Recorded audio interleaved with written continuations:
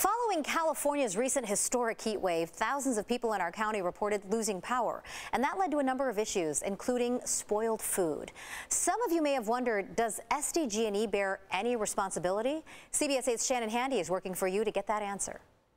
Last week, people in this La Jolla neighborhood lost power for more than 24 hours, resulting in a lot of food having to be thrown out. Some wondered if it could be reimbursed. We looked into it. It turns out you can, but not in all cases. This is what Maria Bolivar's fridge and freezer looked like prior to last Monday's outage following a recent trip to Costco but not anymore. The freezer, you can see it's all empty with the exception of something I just got. On Labor Day, Maria and her neighbors lost power for 28 hours. Not wanting their food to go to waste, they salvaged what they could and organized a last minute potluck in the courtyard. Everything else had to be thrown away. It was really painful for me to, you know, just grab the stuff and put it away. There were lots of extra flies and stuff because everybody put their food out. Maria estimates she lost $100 worth of food. She posted about it on Nextdoor, which opened up a conversation about whether or not SDG&E reimburses people in scenarios like this.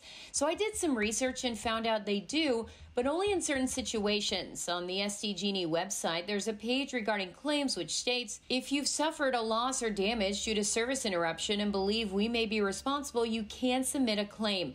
Those claims can be related to property damage, bodily injury, business interruption, food loss, and spoilage.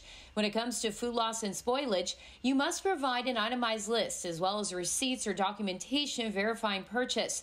Also, food loss claims are based on guidelines from the U.S. Department of Agriculture, which states a fully stocked freezer will usually keep food frozen for two days after losing power. A half full freezer will usually keep contents frozen for about one day. In the refrigerator, food will usually keep up to four hours depending on the temperature of the room.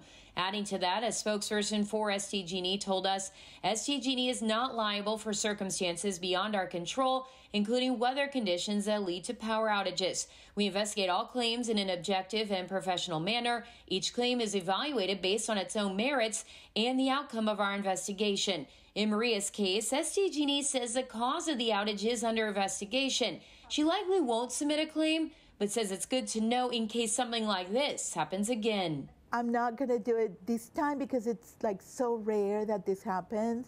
But if it's going to happen, yeah, they're going to have to provide for something like that. Shannon Handy, CBS 8.